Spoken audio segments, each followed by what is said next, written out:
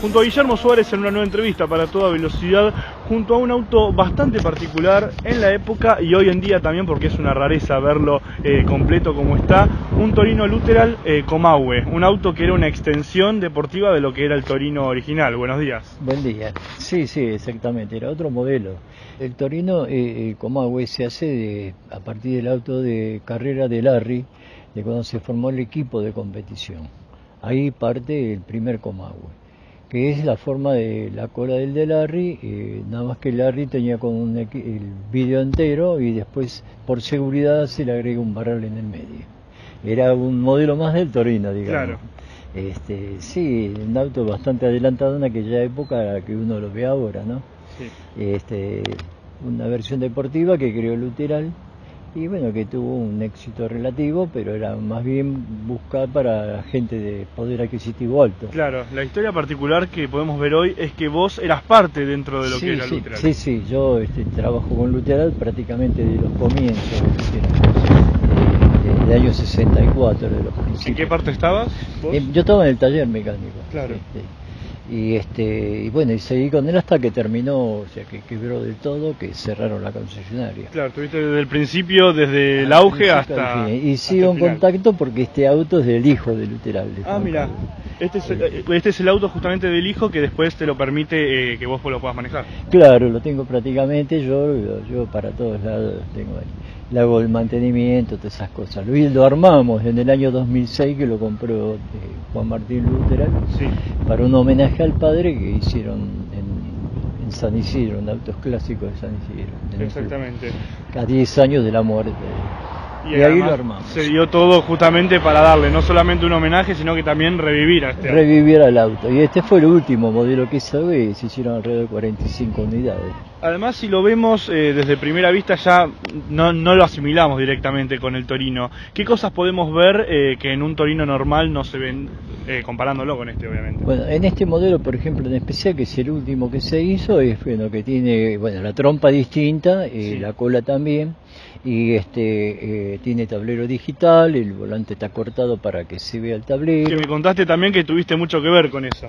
Claro, y prácticamente sí, este, fue una idea que tuvo Luteral y que yo conseguí la gente que lo pudo hacer acá en Argentina, con, Mirá. digamos, prácticamente todos los elementos de acá. La idea, ¿cómo surgió de hacer el. La idea surge porque Juan Carlos vino con un reloj que en ese tiempo, reloj de hora, que trajo a la Argentina eh, Autoradio Norma, que Sí. era proveedor de. Era todo digital. Y a partir de ahí, este, yo les llevé una mecánica popular de ese año 76. Y le pasó Martín la Bonda, que estaba ahí como novedad, que tenía cuenta vueltas. digamos. Claro.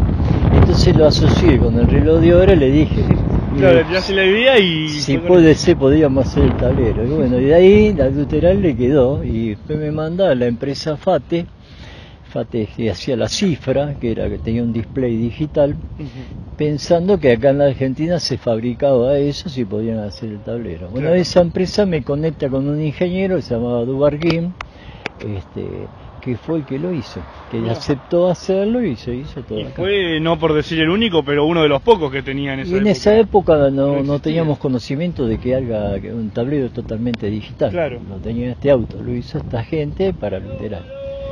Y se hicieron 45 a- autos con este tablero. 45 unidades nada más de Nada estas más, características. no, nada más y después la empresa quebró del todo. Y ahora en la actualidad quedarán dos, tres, no sé sí, cuántos hay más pocos, sí, no, funcionando hay po- creo que este solo. Claro. Después hay en proceso dos o tres más. Bueno, que por lo menos se vuelvan a la vida sí. y que podamos ver más Bien. también. Claro, este fue restaurado el tablero, este, no anda muy exacto, pero bueno, está funcionando. Hablando de la mecánica, era el mismo que el Torino, solamente con unas... La mecánica se podía vender el Torino base, o sea, la misma mecánica del Torino, Sí. que era el base, y si no, después las tres potenciaciones que hacía Luteral. Claro. 195K, eh, 205K y 220K. ¿Y a qué velocidad más o menos llegaría? Y Este- estarían en los 230 más o menos. Era un por po- hora. eran más o menos 20 kilómetros más que el... 30, 30 Sí, kilómetros 30 más, kilómetros prácticamente que era un 380W o un GS que venía de fábrica, con tres carburadores. Y hablando de aceleración, eh, una anécdota que nos contabas antes eh, de empezar la nota es eh, de lo que era la velocidad, bueno, de la aceleración, mejor dicho, automática. ¿Cómo era eso? No, eh, eh, el acelerador automático, me decía. No, eso lo habíamos hecho un acelerador manual para un este una Safari Diesel. Porque era duro el acelerador y este el Luteral viajaba con una Diesel y le hicimos un acelerador manual en ese momento que con un apretado del freno el embrague se liberaba. Claro, se llamaba velocidad crucero y eso. velocidad crucero, exactamente, que no la elegían, ¿no es cierto? Claro, otra de las innovaciones también que podemos aclarar es la cola, que es característico, es ver esa cola y decir, claro. es de Claro, la cola GT, la de GT que viene con los dos vidrios. Claro. Este, sí, ahí también estaba la manual que era media pesada y después le pusimos un aparato hidráulico este, para poder levantarla. Claro, que se levanta sola con un Claro, con un Con el mismo tecla se sube y se baja. ¿Se puede decir que es lo más característico del auto o hay otra cosa que decís que hay que prestarle más atención? No, eso era una. Después estaba también la suspensión neumática en un modelo que se hizo, que subía 11 centímetros. Sí. Bueno, en este caso los tableros, los faros digitales, los faros escamotables. Sí, que se liberan para Claro, uno prende las luces, el, encendido de las luces también era automático, claro. cuando oscurecía. Ahora lo podemos ver todo completo y después se bajaban. Claro, y después este, eh, los faros cuando uno prendía las luces de posición se bajaban las tapas y estaban los faros atrás, se estaban escondidos. Teníamos bastantes chiches, la verdad. Claro, claro, iba para entretenerse.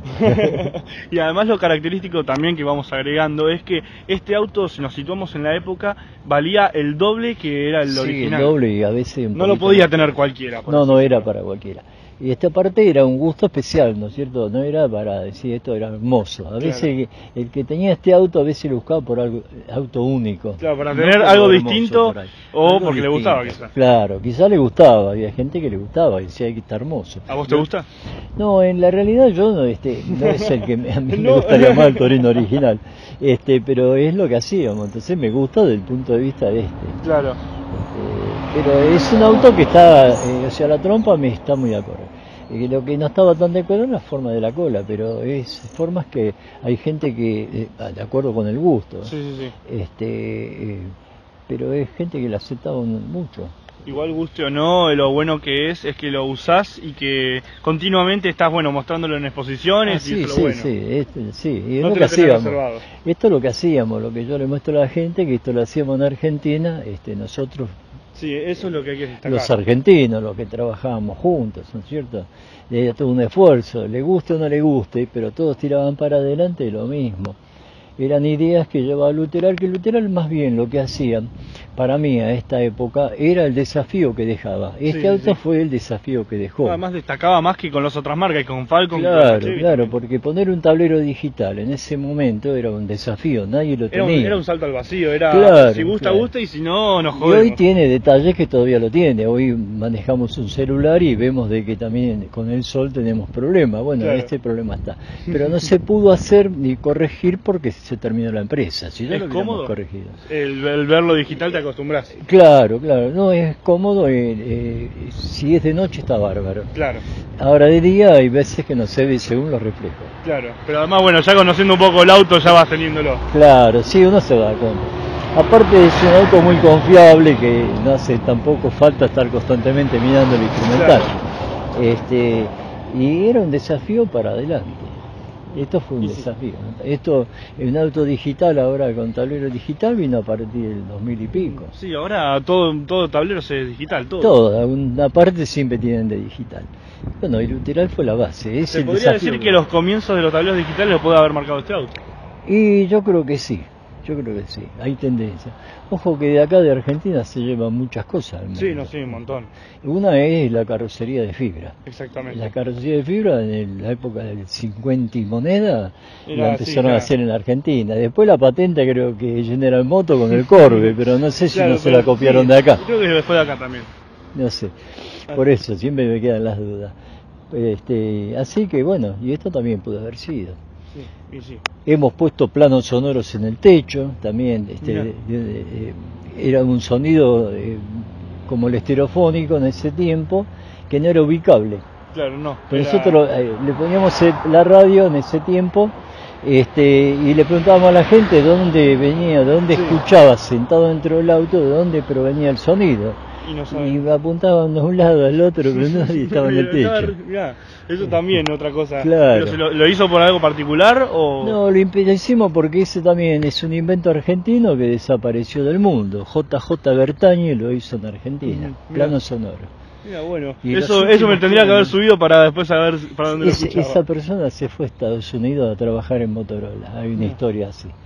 Eh, yo tuve oportunidad de hablar con él porque estaban barracas las mismas fábricas. Y hemos ido a buscar al depósito de ellos en los últimos planos sonoros que tenían. y lo hemos colocado todo en Comagüe. Exactamente. Así que bueno, la verdad que eh, agradecerte obviamente por contarnos esto. Que para cerrar la nota también quiero que me cuentes dos cosas. Primero, el andar. ¿Cómo se lo nota? El andar es un andar deportivo que depende como el torino. Este eh, da la sensación de tener, porque como se bajaba un poquito y se ponía amortiguadores maduros, que tener mayor, tonida, mayor tenida que el torino. Que el torino estándar, ¿verdad? Claro, sí, sí, sí. Este, es bueno andar, es similar al Torino. Y segundo, ¿te pudiste dar el gusto de poder eh, andarlo con las prestaciones deportivas como, como sí, es? Sí, sí, sí, sí.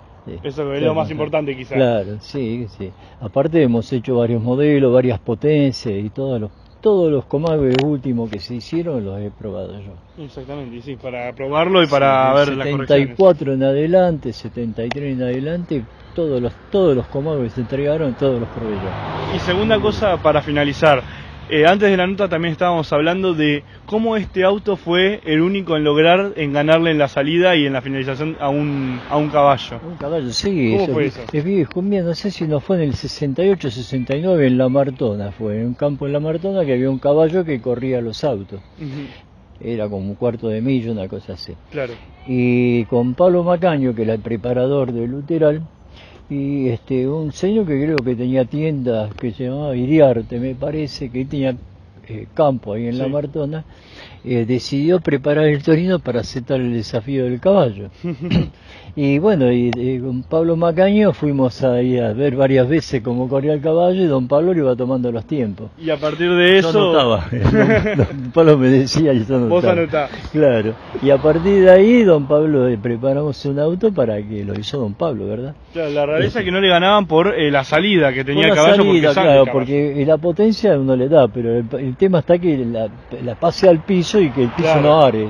La mayoría salía arando. Entonces, y entonces perdía ahí en la salida. Ahí perdía en la salida. Entonces había que buscar que el auto pique y que no are. Entonces ahí el toro le gana al caballo. Y ahí el toro le gana al caballo, sí, sí. Así es. Así bueno, muy linda historia. De pesos fue eso, moneda nacional. De pesos para... De esa época y este, lo pagaron de mala gana. Así que bueno, Guillermo, muchísimas gracias por la nota. de nuevo felicitarte por el auto porque está impecable y está este muy bueno. Auto, bueno, de Juan Martín Luther, que es este, el hijo de Luther. Yo lo llevo, él me permite a mí mostrarlo. mostrarlo y bueno, y de a él que le mandamos un gran saludo y felicitarlo a él también. Bueno, Así que bueno, muchísimas gracias y bueno, de nuevo felicidades y muchas gracias por seguirlo mostrando y a gente que como yo que no tuvo la posibilidad de verlo en las calles. Claro, acá está Ahora lo estoy viendo en la calle. Y este es el único que vas a ver porque no, y hasta que salga el otro que se está reparando. Así que cuando estés mirando por otro lado yo lo agarro y me voy acá. sí, no hay problema. Muchas gracias. Acá una nueva entrevista para toda velocidad junto a Guillermo y junto a este Torino Luteral.